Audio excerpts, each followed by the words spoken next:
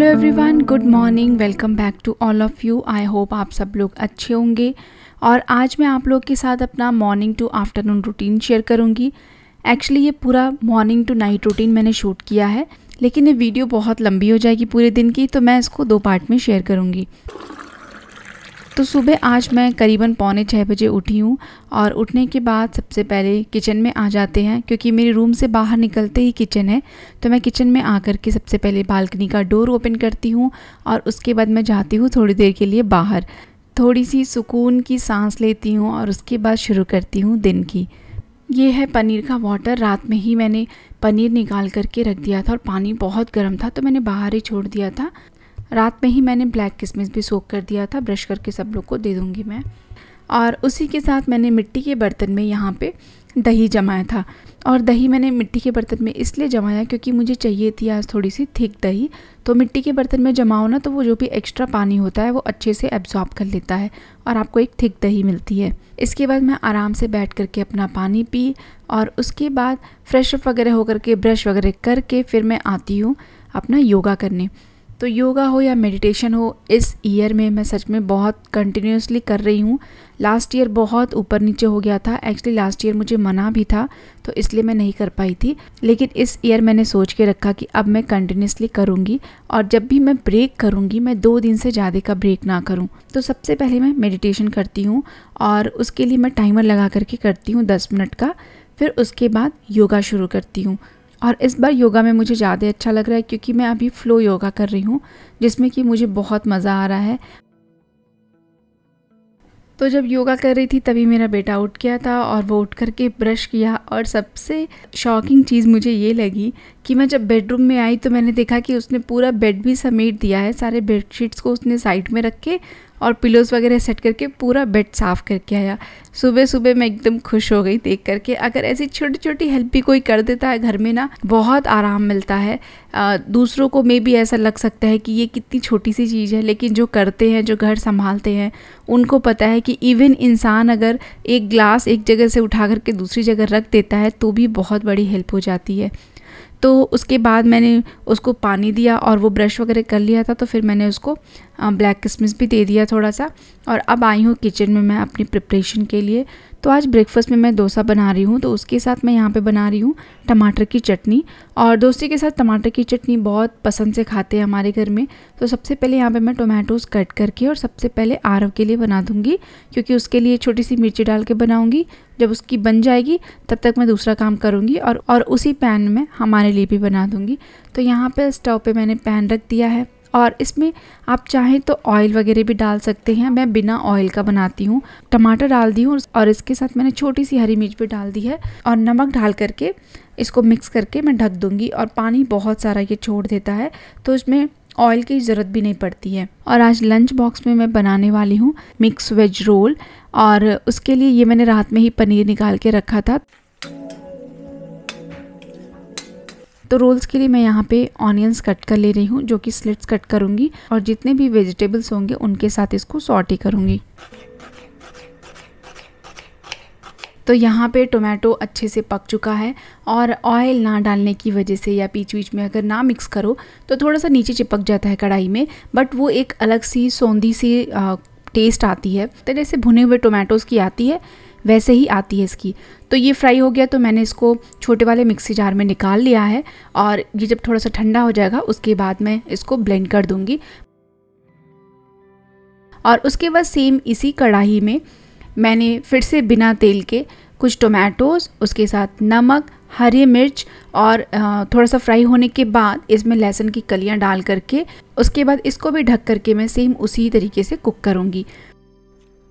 ये साथ साथ में कुक होता जा रहा है और एक साइड मैंने चॉपिंग भी शुरू कर दी है तो वो भी काम हो जाएगा मेरा। तो यहाँ पे मैं वेजिटेबल सॉटे करने के लिए कढ़ाई रख रही हूँ और इसमें मैंने डाला है मस्टर्ड ऑयल उसके बाद ऑनियंस जो मैंने स्लिट करके रखा था, उसको मैंने इसमें डाल दिया है। और जब भी रोल्स वगैरह के लिए वेजिटेबल सॉटे करें ना तो हमेशा हाई फ्लेम पे करें। मैंने यहाँ पे थोड़ी सी जल्दीबाजी के चक्कर में बाद में सिम कर दिया था। तो अगर फ्लेम कम कर दो ना तो थोड़े से वो सॉफ्ट हो जाते हैं, फिर वो क्रंचीनेस नहीं रहता है। बट ओनली ऑनियन के साथ ही किया मैंने, बाकी वेजिटेबल्स मैंने अच्छे से सॉटे किया। चटनी भी ठंडी हो गई तो मैंने चटनी को भी पीस दिया। तो आप चाहें तो यहाँ पे तड़का भी दे सकते हैं इसमें, या फिर बिना तड़के का भी खा सकते हैं। तो यहाँ पे प्याज फ्राई हो गया है, फिर मैं यहाँ पे डाली हूँ थोड़ा सा जिंजर गार्लिक का पेस्ट, और उसके बाद इसको अच्छे से थोड़ी देर के लिए भूनना है। तो जब मैं काम कर रही थी, बहुत जल्दी में थी, तभी मेरे हस्बैंड आ गए। तो मैंने उनसे एक हेल्प मांगी, मैंने बोला, थोड़ा सा आप कैरेट्स को स्लिट्स में कट कर दीजिए, ताकि मैं उसको जल्दी से ऐड कर दूँ, बिकॉज़ बहुत रश होता है सुबह में। तो वो फिर आ, मेरे लिए थोड़ा सा कैरेट्स कट कर दिए। मैंने उसको भी इसमें ऐड कर दिया और उसके बाद मैं इसको फ्राई की। साथ में मैं यहाँ पे डोसा बना रही हूँ आज ब्रेकफास्ट में। तो डोसे के बैटर में मैंने यहाँ पे नमक और जीरा डाल करके उसको अच्छे से मिक्स करके रेडी कर दिया है। और इसमें मैं पानी की जगह बटर मिल्क मतलब मेरे पास छाछ पड़ी हुई तो मैंने उसी छाछ को यूज़ करके और मैंने ये डोसा बनाया है। तो यहाँ पर डोसा बनाने के लिए मैंने आयरन का पैन रखा है और ये पैन बहुत अच्छा है। इसके ऊपर मैंने ऑनियन से ग्रीसिंग की है। अगर आपके पैन में आपका डोसा चिपक जाता है तो आप ऑनियन वाली ट्रिक ये करिएगा। देखिएगा, आपका डोसा बिल्कुल भी पैन में नहीं चिपकेगा। फिर यहाँ पर मैंने डोसा डाल दिया है। डोसा मैंने थोड़ा सा मोटा ही डाला है और इसके ऊपर घी डाल करके इसको कुक किया है। डोसा बैटर हो या इडली बैटर हो, एक बार आप बना लीजिए तो तीन चार दिन आप आराम से उसको अलग अलग वैरायटी में बना करके खा सकते हैं। तो यहाँ पे चटनी भी रेडी हो गई है। इसमें लास्ट में थोड़े से धनिया के पत्ते डाल करके और हल्का सा इसको फिर से ढक करके कुक करना है। उसके बाद बस मिक्सी जार में निकाल करके इसको ब्लेंड कर लेना है। तो यहाँ पे डोसा भी रेडी हो गया है। एक साइड थोड़ा सा ब्राउन हो जाए, फिर दूसरे साइड भी फ्लिप करके और जस्ट तीन चार सेकंड के लिए उस साइड भी कर देने से अच्छे से डोसा कुक हो जाता है दोनों साइड उसके बाद मैं ब्रेकफास्ट में दे दूँगी।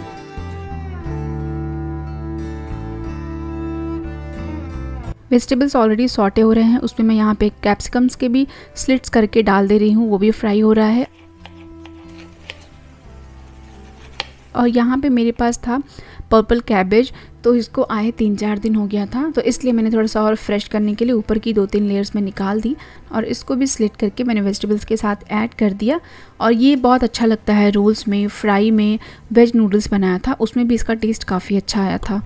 बस इसमें मैंने थोड़ी सी ब्लैक पेपर और थोड़ा सा हल्दी और थोड़ा सा नमक डाल करके इसको सॉटे किया था मैंने और उसके बाद मैंने फ्लेम को ऑफ़ कर दिया। अब यहाँ पे रोल के लिए मैं डो बना रही हूँ। तो बेसिक सिंपल डो जैसे मैं रोटी के लिए बनाती हूँ सेम वैसे ही रोल्स के लिए भी बनाती हूँ। थोड़ा सा गेहूँ का आटा डाला मैंने, उसके साथ थोड़ा सा ओट्स का पाउडर डाला मैंने।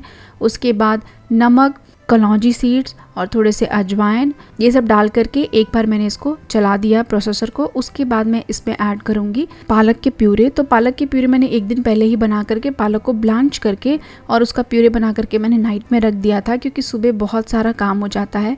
तो मैंने उसको थोड़ा सा ऐड किया, पूरा ऐड नहीं किया मैंने क्योंकि बहुत अगर स्ट्रॉन्ग पालक का टेस्ट आने लगेगा ना तो बच्चों को खाने में थोड़ी सी दिक्कत होती है। तो इसलिए मैंने हाफ़ ऑफ़ द प्यूरे डाला और बाकी का आटा मैंने पनीर के पानी से गूँथ दिया।